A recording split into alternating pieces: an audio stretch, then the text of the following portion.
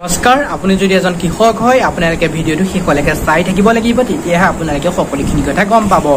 P M Kisan সন্মান নিধিৰ আঁচনিৰ জৰিয়তে প্ৰতি বছৰে ছয় হেজাৰ টকা দিয়া হয় দুহেজাৰ দুহেজাৰ কৰি তিনিটা কিস্তি দিয়া হয় আৰু সৰ্বমুঠ আপোনালোকে ছয় হেজাৰ টকা লাভ কৰিবলৈ সক্ষম হয়। বন্ধুসকল এতিয়া কিছুমানে আঠ নম্বৰ ইনষ্টলমেণ্টটোলৈকে আৰু কিছুমানে ন নম্বৰ ইনষ্টলমেণ্টে লাভ কৰিলে। এতিয়া আপোনালোকে বাকী ইনষ্টলমেণ্টটো কেতিয়াকে লাভ কৰিব কি কৰিব আৰু কেতিয়াৰ পৰা আপোনালোকৰ একাউণ্টত সোমাব ইতিমধ্যে আহি গৈছে বন্ধুসকল।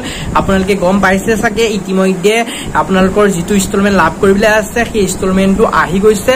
আৰু সেই ইনষ্টলমেণ্টটো লাভ কৰিব কেতিয়া আপোনাৰ ডিষ্ট্ৰিক্টত কেতিয়া সোমাব আপোনাৰ একাউণ্টলৈ কেতিয়া যাব কাৰ কাৰ সোমাইছে ইতিমধ্যে আৰু আপোনালোকে কেনেদৰে চেক কৰিব পাৰিব সকলোখিনি আপোনালোকক এই ভিডিঅ'ৰ জৰিয়তে আমি জনাবলৈ চেষ্টা কৰিম। আপোনালোকে ভিডিঅ'টো শেষলৈকে চাই থাকক। কিছু- কিছুমানৰ বাবে এই ইনষ্টলমেণ্টটো আঠ নম্বৰ হ'ব কিছুমানৰ বাবে ন নম্বৰ হ'ব। মই আগতে কোৱা অলপ ভুল হৈছিল বন্ধুসকল। কিছুমানৰ বাবে এতিয়া আঠ নম্বৰ হ'ব আৰু কিছুমানৰ বাবে ন নম্বৰ হ'ব যিহেতু সাত নম্বৰটোলৈকে বহুতে লাভ কৰিলে আৰু কিছুমানে আঠ নম্বৰটোলৈকে লাভ কৰিলে।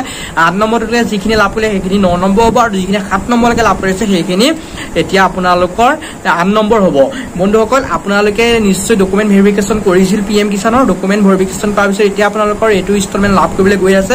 আৰু যিখিনি আগতে ইনষ্টলমেণ্ট লাভ কৰা নাছিল এতিয়া একদম ক্লিয়াৰ হ'ব। যিহেতু ডকুমেণ্ট ভেৰিফিকেশ্যন হৈ গ'ল কিছুমানৰ নাম ইতিমধ্যে কাট খাইছে আপোনালোকে গম পাইছে। আপোনাৰ টকা কেনেদৰে সোমাব আৰু আপোনালোকে কেনেদৰে চেক কৰিব পাৰিব সোমাইছে নাই টকা ৱেবছাইটলৈ লৈ গৈ আপোনালোকক সকলোখিনি দেখাই দিম আপোনালোকে ভিডিঅ'টো চাই থাকক। আপোনালোকে ৱেবছাইটত গৈ পেলাই আপোনাৰ নাম আছে নাই সেইটো চাব পাৰিব আৰু আপোনাৰ টকা সোমাইছে নাই সেয়াও চাব পাৰিব। আপোনালোকক ধুনীয়াকৈ আমি ৱেবছাইটলৈ লৈ পেলাই দেখাবলৈ চেষ্টা কৰিম সকলোখিনি বুজাই ভালদৰে ক'বলৈ চেষ্টা কৰিম আপোনালোকে ভিডিঅ'টো শেষলৈকে চাই থাকক। যদি আপোনালোকে ভিডিঅ'টো চাই ভাল পায় প্লিজ লাইক কৰিব কমেণ্ট কৰিব আৰু সকলোকে আমাৰ ভিডিঅ'টো শ্বেয়াৰ কৰি দিব। আৰু যদি আমাৰ চেনেলটোলৈ আপুনি প্ৰথম আহিছে বা আমাৰ চেনেলত যদি এতিয়াও ছাবস্ক্ৰাইব কৰা নাই প্লিজ ছাবস্ক্ৰাইব কৰি কাষত থকা বেল আইকনটো প্ৰেছ কৰি অল কৰি ল'ব।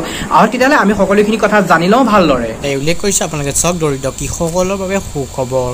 আপোনালোকে ইয়াত দেখা পাইছে দৰিদ্ৰ কৃষকসকলৰ বাবে সুখবৰ। ইয়াত উল্লেখ কৰিছে আপোনালোকে চাওক আজিৰে পৰা একাউণ্টত সোমাব পি এম কিষাণৰ ধন। আপোনালোকে গম পাইছে পি এম কিষাণৰ ধন আজিৰে পৰা আপোনালোকৰ একাউণ্টত সোমাব। কিছুমানৰ বাবে আঠ নম্বৰ আৰু কিছুমানৰ বাবে এইটো ন নম্বৰ ইনষ্টলমেণ্ট হ'ব।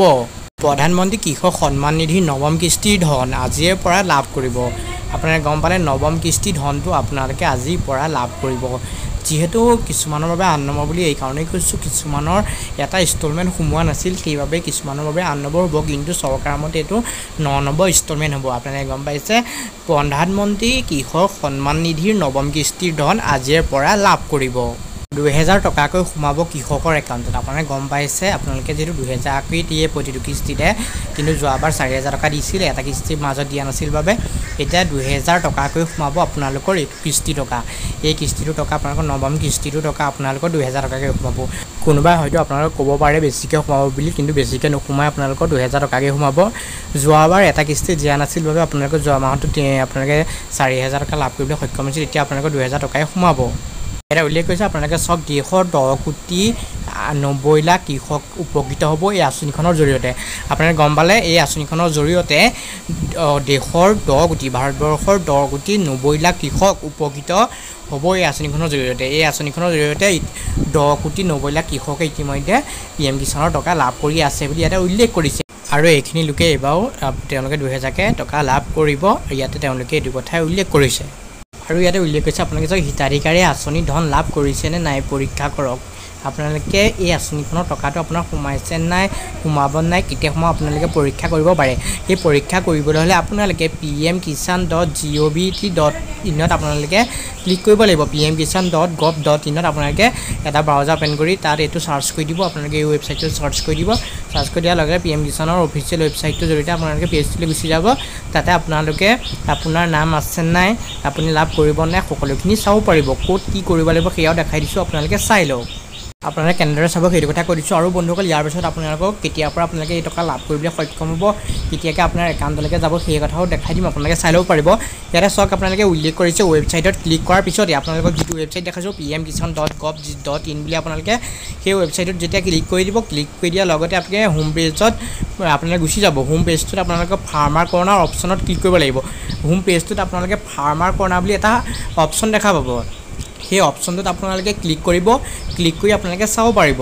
আপোনালোকে ফাৰ্ষ্ট ৱেবছাইট যাব লাগিব তাৰপিছত আকৌ হোম পেজত ফাৰ্মাৰ কৰ্ণাৰ বুলি থাকিব। আপোনালোকে মন দি চাই লওক ফাৰ্মাৰ কৰ্ণাৰ থাকিব আৰু ফাৰ্মাৰ কৰ্ণাৰতে আপোনালোকে ক্লিক কৰি দিব লাগিব। ক্লিক কৰি দিয়াৰ লগে লগে কি হ'ব সেয়া আপোনালোকক কৈ দিছোঁ চাওক। ফাৰ্মাৰ্ছ কৰ্ণাৰ অপশ্যনত হিতাধিকাৰী তালিকাত আপোনাৰ নামটো চাব পাৰিব। আপোনালোকে গম পালে ফাৰ্মাৰ কৰ্ণাৰ অপশ্যনত আপোনালোকে ফাৰ্মাৰ্ছ কৰ্ণাৰ অপশ্যনত আপোনালোকে হিতাধিকাৰী তালিকাৰ আপোনালোকে নামটো আছেনে নাই সেইটো আপোনালোকে চাব পাৰিব।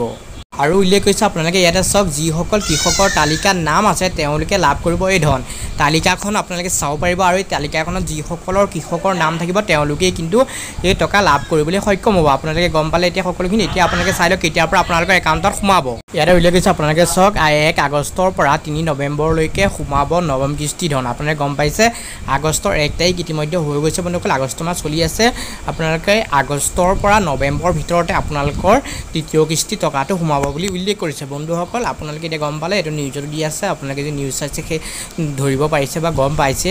সকলোৱে আপোনালোকে ৱেবছাইটত গৈও আপোনালোকে চাব পাৰিব তালিকাখন কেনেদৰে চাব পাৰিব ক'লোৱে আৰু ৱেবছাইটত গৈও আপোনালোকে যদি চায়গৈ তেতিয়াহ'লে আপোনালোকে সেইটোৱে দেখাব আগষ্ট আৰু নৱেম্বৰৰ ভিতৰত আপোনালোকৰ নৱম কিস্তি টকাটো সোমাব বুলি দেখাব। আপোনালোকে আগষ্ট আৰু নৱেম্বৰৰ ভিতৰত আপোনালোকে আগষ্ট মাহতো লাভ কৰিব পাৰে নহবা নৱেম্বৰ মাহতো লাভ কৰিব পাৰে।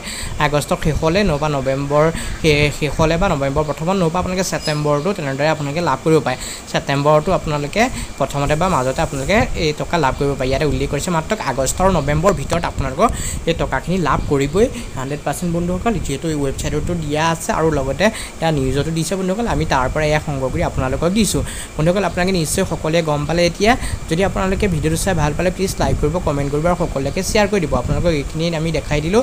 আপোনালোকে নিশ্চয় সকলোৱে ধৰিব পাৰিছে। আৰু যদি আমাৰ চেনেলটো ছাবস্ক্ৰাইব কৰা নাই প্লিজ ছাবস্ক্ৰাইব কৰি কাষত থকা বেল আইকনটো প্ৰেছ কৰি অল কৰি ল'ব। Thank U